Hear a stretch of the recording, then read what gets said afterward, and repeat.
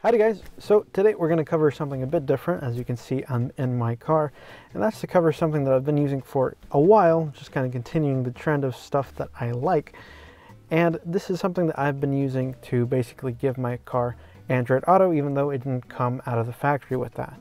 Now you could have just installed a custom head unit or a third-party head unit that has it installed but uh, me being a bit of a DIY kind of person I figured I'd do something myself. All right, let's check it out. Okay, so down here you're to see that it's booting up a custom animation there. That's something I put together specifically for my make a car and I think it really looks just kind of help tie everything together to make it look a lot more OEM, which is something that you're usually going for. I mean, it depends the kind of person that you are, but one thing that doesn't really look all that OEM is this casing. So I'll show some b-roll of this, I'll try to. This is a custom mount that I designed and 3D printed because this is basically just a Raspberry Pi a touchscreen kind of mounted over the factory uh, head unit. And that's because I was having some issues with some third-party ones and uh, there's some wiring issue that I couldn't quite figure out. So I just ended up saying, uh, screw it, I'll just do it myself and do something DIY, which is, uh, this is pretty fun. It satisfies that kind of DIY edge that I have. But anyway, uh, let's get on to an overview. So the main thing I use this for is for Android Auto, obviously, but you can do a couple other things or it gives you some other features. So as long as you have a compatible Bluetooth adapter, you can use this to make and receive phone calls, uh, as well as play music over Bluetooth. And let's see, I'll try to demo that real quick. If, if you saw earlier, I did say that it was connected to my phone. So let me give that a shot.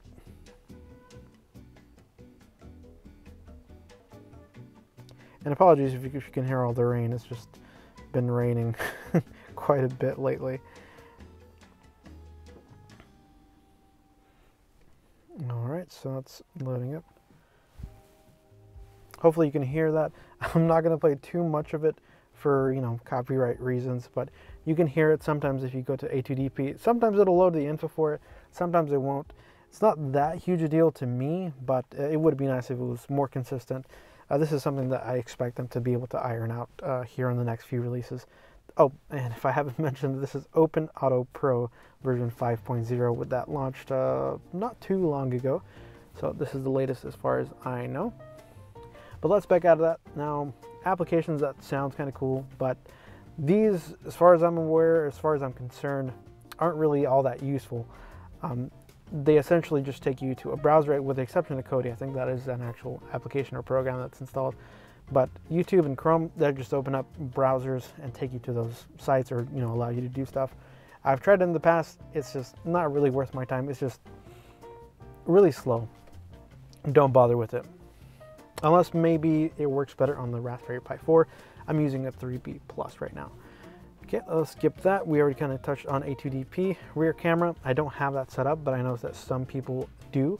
Um, so you'd probably want to look at the forums, which there is a pretty good forum for this. So I'll link that down below in case you want to learn really anything about this, but I'll try to cover the basics. Now mirroring, mirroring works if you enable Android uh, debugging settings, but you also have to, and I'll touch on this quickly. So now it's gonna lead me on a tangent, but I went to the settings menu down here and you're gonna have a ton of settings that you can change around. Realistically, I would leave most of this stuff default just to be compatible with most phones. You don't really want to mess around with some of the stuff with Android Auto because that means you're to have to make sure that each Android Auto or each phone that you're connecting into Android Auto needs to be configured exactly like that. So leave most of the stuff default. What we're to change over here is in system, I believe start Android automatically. I'm to turn that off for a second so I can show you mirroring. So here I'll click on, oh, I should probably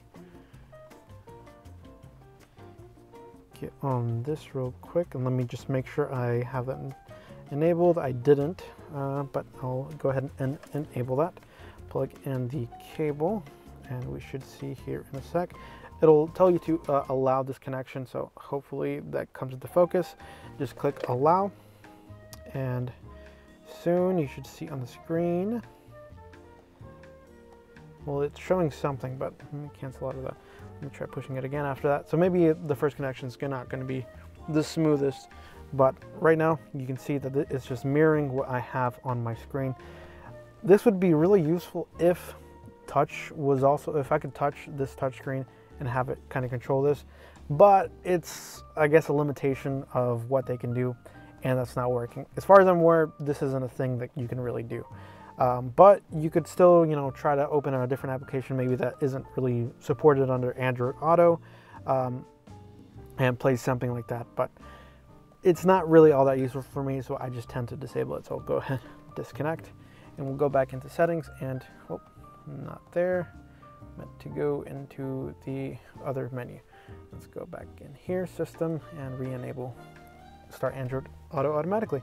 And what that's going to do exactly what it sounds like. When you plug in your phone, it's immediately going to start Android Auto without prompting you to, you know, enable it yourself. All right, and that kind of covers that. Android Auto, pretty self-explanatory. If you want a more in-depth video on that, let me know. But if you know what it is, hasn't really changed all that much since the last big update.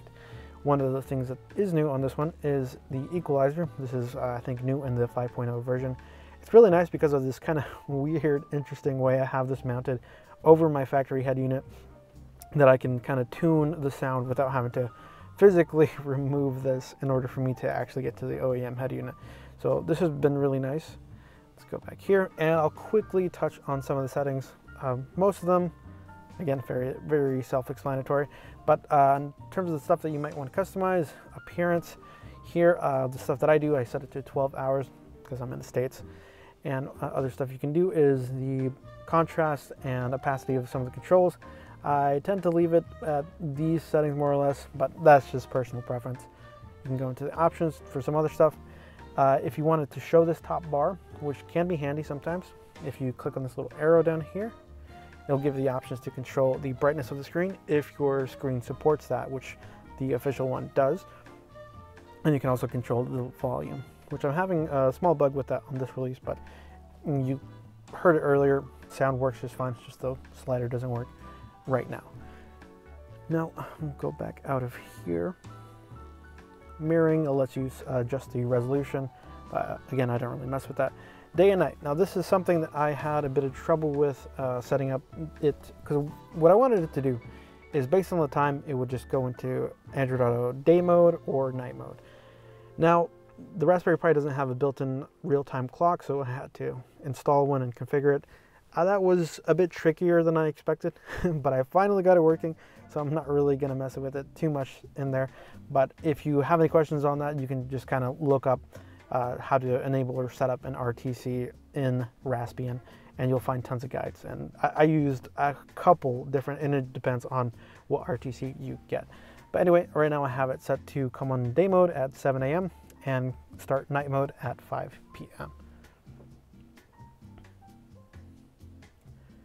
Okay, back into the settings. Uh, the last thing that might be, you know, something that you actually want to change is a wallpaper. So as if you might have been able to see, and you could probably see if I made it more opaque or made the controls uh, more transparent, is I have a custom uh, background, and that's just to kind of give it, again, uh, more cleaner less out of uh, less out of place look. Uh, where is this controls opacity? So you can see I have a Chrysler background on mine, which of course makes sense because this is a Chrysler vehicle. Okay, and I'll, I'll leave it like this for now. But if you have any other questions about this, please let me know. It's been working a treat for me. I've been using it for the better part of a year now. I used to use a different one called Crankshaft. I have some issues with that. But the main thing with this one is that it is not open source. It is not free. There is a license cost. So make sure to be prepared for that. I forget exactly what the cost is. It's not over 30 bucks. It's like 20 something dollars. But for me, I would much rather pay that money and have continued support because with this, I haven't had really any issues in terms of compatibility or something just kind of crapping out out of, no, uh, out of nowhere that used to work, which happened a lot back when I was using Crankshaft. Maybe that was just user error, but this has just been working really well. All right, guys, that'll do it for now. Hopefully you like this kind of weird uh, setting for a video. If you have any other questions, please leave them down below. All right, guys, see you later.